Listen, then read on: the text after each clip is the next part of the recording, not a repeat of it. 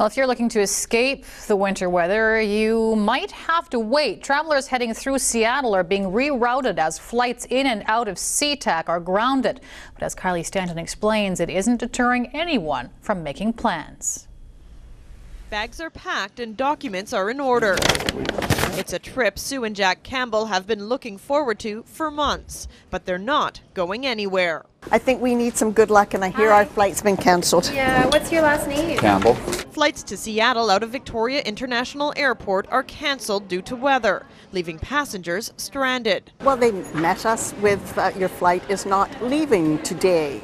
So, oh dear, after the snow in Victoria. So it was time then to reroute, see what we could do. The goal to get to Maui. So far, we're going to catch a flight to Seattle this ap- later this afternoon. It's gonna be two o'clock. Plans changed again.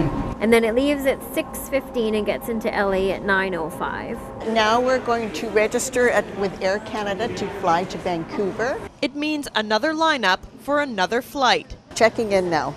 Air Canada. Uh, yes, Air Canada.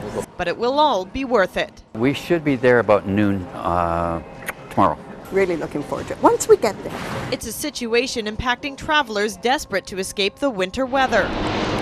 Bad timing for heavy snow to come and virtually shut down SeaTac, a key connecting airport on the west coast. It's a tough, uh, tough time for passengers that are on their way uh, through Seattle, uh, other to Seattle or onward to other destinations.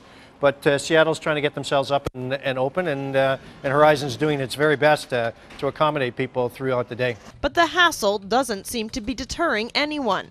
225 departure into Vancouver at 4:30. You Travel agencies are reporting a big spike in business over the last week, up roughly 15% over this time last year. I think with the weather that we've seen here, uh, we've had a few calls just trying to get out tomorrow if they could, just on a whim, so to avoid the weather. There you go. You're very welcome. It's what brought this man in looking for a deal. I came and I've tried to find out what's available. At this point, there may be a bit of a wait, So now we're going to get a cup of coffee. but eventually it means getting out of the cold and getting on your way. Bye, Victoria.